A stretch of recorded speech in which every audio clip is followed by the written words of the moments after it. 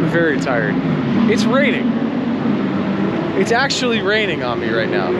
There's raindrops. Look at this. What the hell? It doesn't rain in Dubai. I think it's just this one cloud, but man, if it starts dumping, that's gonna be uh, it's gonna be interesting.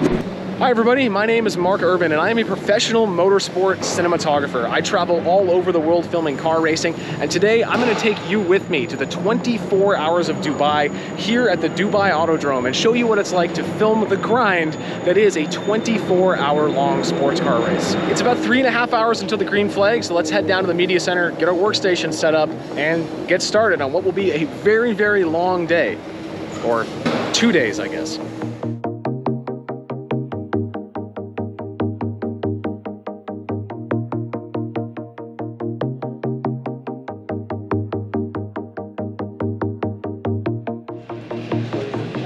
Set up now. It's about three hours for the green flag, and I need to message my uh, PR manager friend for one of the teams I'm working for. Uh, she wants to get a shoot done with some of the drivers uh, real quick before the start of the race. So I'm going to see what the deal is for that and set up my equipment accordingly. Although I've already set it up, but I wasn't thinking, so I might have to set up my gimbal and all that to go do this other shoot. So wait till I hear from her, and then I'll go head to the garage and get started on the day.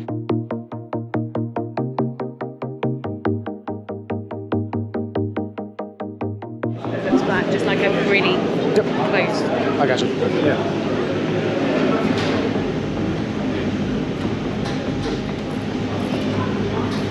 So I just snuck over to the WRT garage and did some shooting in there, and uh, then went over to see my friends at Grove Racing, and everything's fine there. Kind of everyone's just hanging out until we get closer to the start of the race. The cars are pretty much ready to go. Everyone's just hanging out. Drivers are just starting to arrive now. They're relaxing before they have a very long day. So I'm going to sneak upstairs to the catering and have some lunch and then go back to the media center, grab all my gear, and get ready to shoot the pre-grid and the start of the race.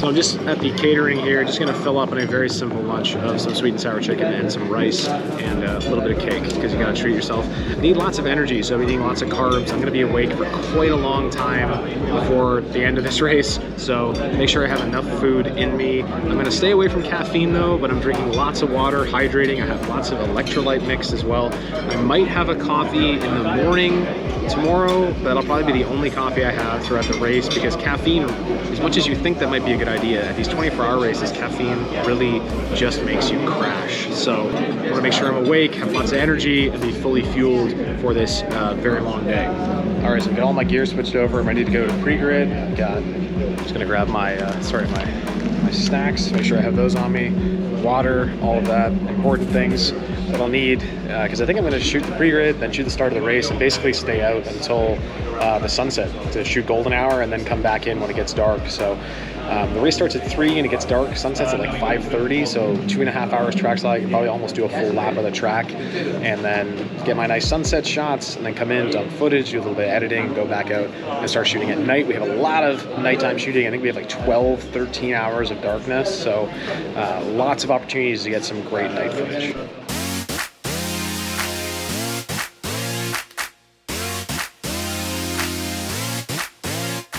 Grid is absolutely insane. Like you're, you're, it's so packed. No one's watching where they're walking. People walk right into you. This is insane. But everyone's here to enjoy motorsport, and it's cool that the fans can come down here as much as they uh, they bump into you and aren't paying attention where they're walking. But they're down here enjoying motorsport, so I guess that's good. All right, so they just kicked us off the grid before the drivers were in the cars, which really sucks. I tried to argue to stay farther back, but they booted us from the grid, so I'm heading down. It's a long walk all the way to the end down to turn one, but we'll get down there in plenty of time. We still don't go green for another 10 or 12 minutes, so lots of time to get down there and get a start shot. But one bummer is, I'm supposed to be a professional, but I uh, forgot my tripod. So looks like I'm shooting the start handheld, so that'll be fun. But uh, got a lot of experience shooting handheld. My uh, arms are gonna get sore though. Shot time. Let's do it. Kick off 24 hours.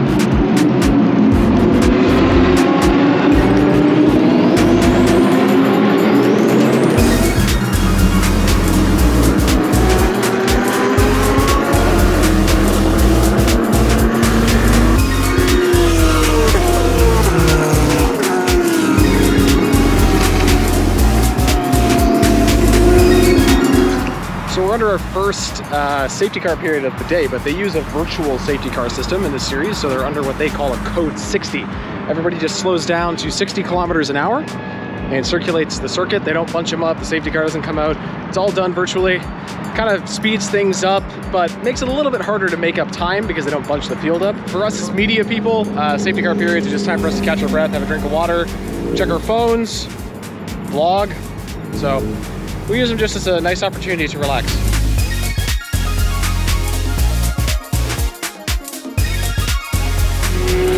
Sun's just starting to go down and we're getting into prime golden hour time now.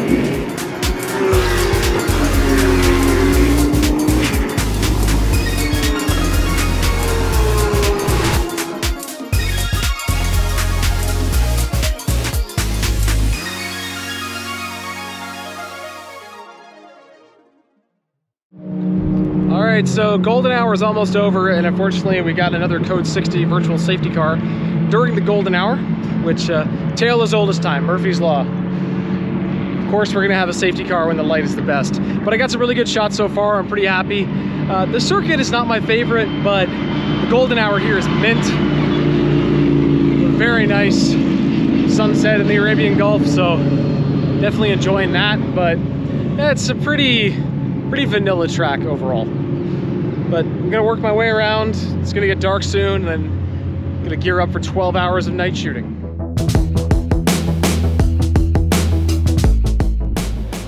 So it's just about 8.30. I'm gonna head up to the uh, grandstands now and do some night shots from up there, do some panning, some shots with the gimbal as well. So quite a trek to get over to the grandstands, but I need to be back pretty quick because I want to be in the pits for when Valentino Rossi goes in for his first stint, and I need to get some content for a reel for the team. So waiting on the PR manager just to text me to say, hey, you've got about a half hour head back. So we can see how much we can get done before that happens.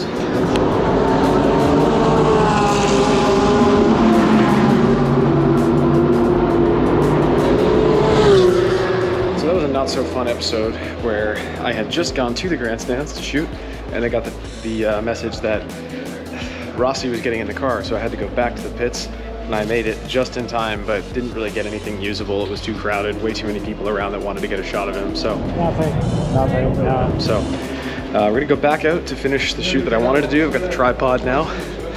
Do a little bit of night shoots just out in the final turn. Get some uh, some establishing night shots I want to get for my edit, and hopefully we'll be able to get uh, Mr. Valentino Rossi suiting up and getting in the car uh, when he goes for a stint later on tonight. I'm thinking if he goes in the car at like four in the morning, there's not going to be any photographers around to get in my way because uh, you're gonna see it's what time 9:30 now uh, a lot of people that I call part-timers are gonna start taking off and going back to their hotel to go to sleep and come back in the morning so that's when those of us that stay really shine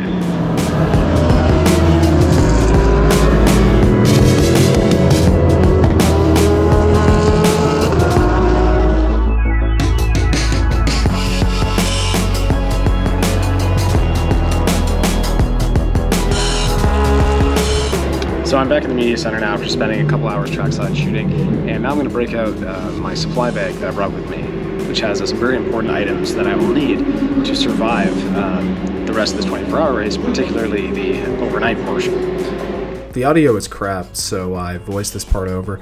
But basically, uh, this is a bunch of stuff in my bag I bring with me, like a foam roller and, of course, my electric toothbrush that you need to kind of survive a 24 hour race. You don't want to go that long without brushing your teeth.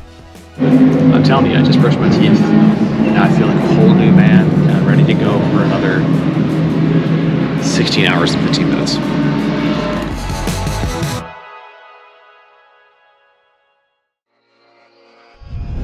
Feel like my recap video is in a pretty good spot. I've done a bit, bit of editing now, a few more shots I've written down that I need to make sure I get. So we're gonna head back to the uh, pit lane, wait around for some pit stops, maybe grab the midnight snack, and then head out to turn 14 and do some more shooting. I need a lot more night stuff for this edit.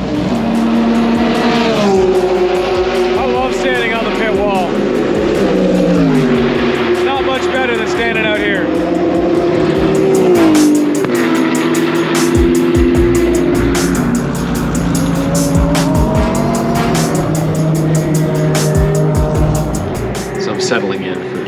Editing now. I've finished doing, I think, all the night shooting I need to do. I might run out again. I'm definitely going to do a, couple, do a couple more pit stops, but for now, I think trackside stuff I have enough for the edits I have to do, so it should be good.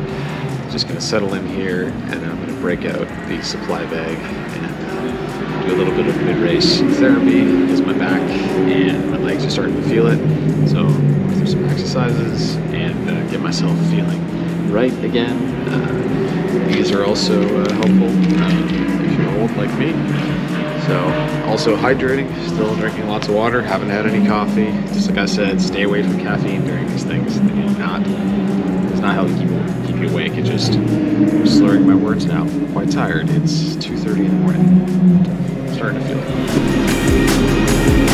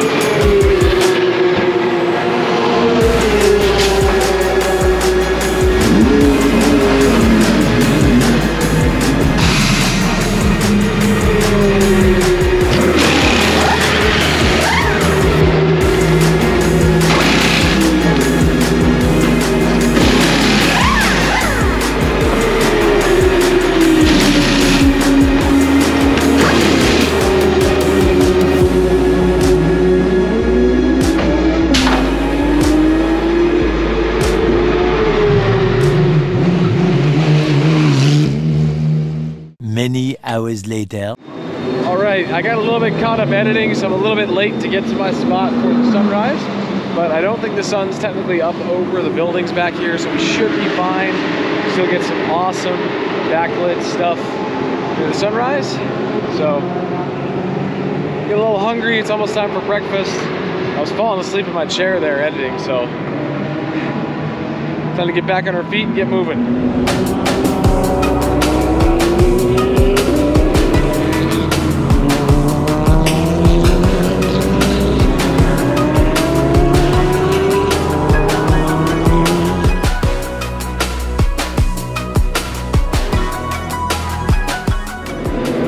Shooting the sunrise. Unfortunately, the sunrise wasn't really much of a sunrise. It was good for five or six minutes, and then the sun went behind a cloud, and that was pretty much it for our lovely backlit shot.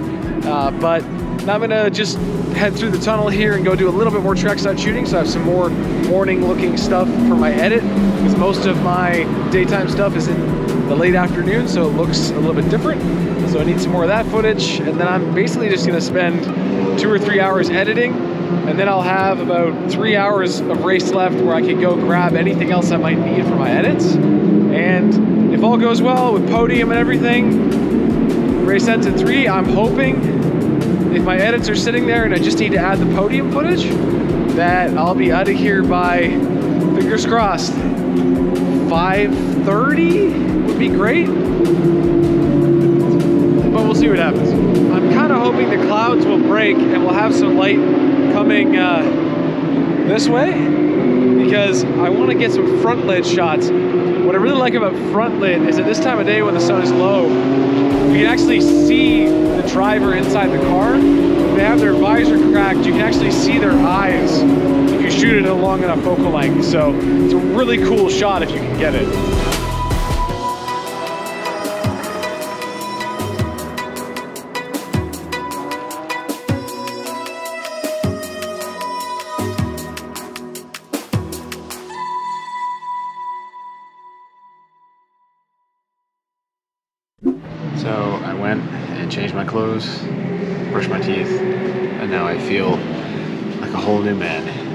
Honestly, ready to start this brand new day that I'm not starting. I started it yesterday. It's just continuing into the second day.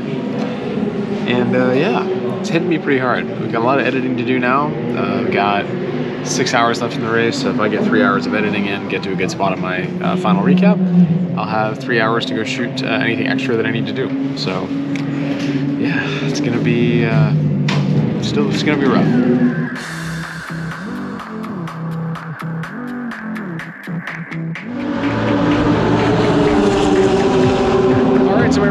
Film for Grove Racing is pretty much completed. I see a few more shots of them winding down, celebrating, high-fiving, and I can have that delivered pretty quickly. But I do have to go to the podium for my other client. Looks like they're gonna finish first and third. So I have to get some content there, back to the media center, cut it up, and send it to them for like some recap reels.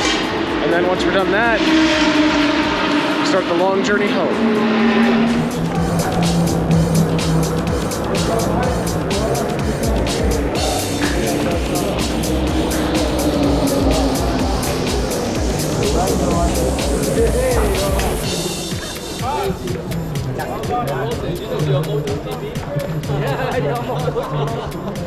Vale, il cammello ti mancava, eh? Il cammello ti mancava, eh? Bravo!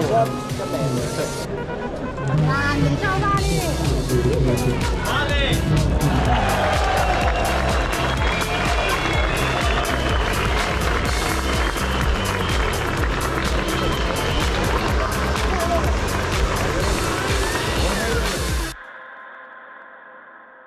All right, we are back at the rental car.